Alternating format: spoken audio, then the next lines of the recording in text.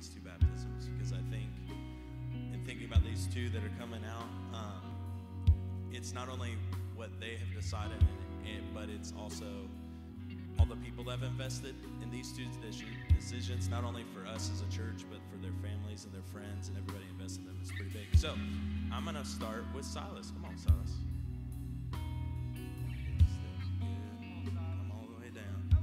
This is my buddy Silas Sanford. I'm not going to cry because But um, I got to have a conversation with Silas this week, and it was really fun. Just the confidence this kid has in this decision and the commitment, and he understands what this commitment means.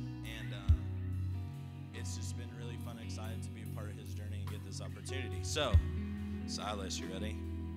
Got two questions for you.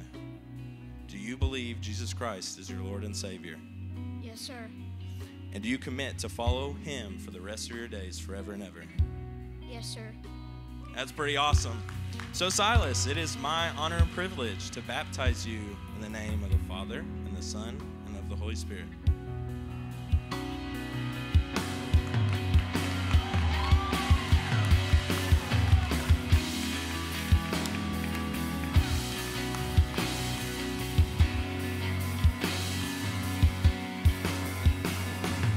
All right.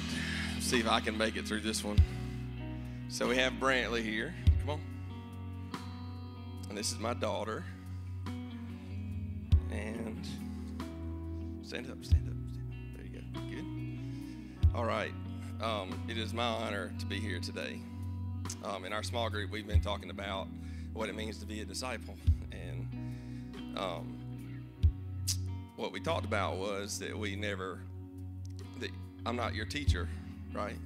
That the Holy Spirit teaches us. And together, we get to learn about Him and, and, and make disciples uh, of Him, right? So, um, Brantley has done more to teach me about what it means to follow Christ than I probably could ever teach her.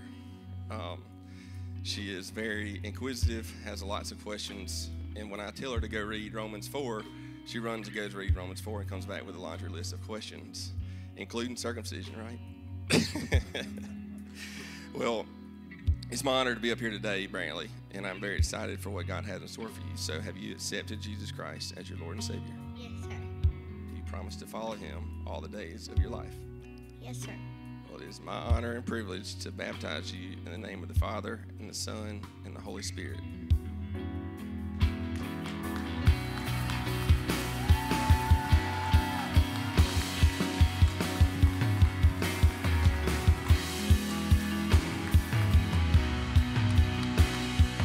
Amen.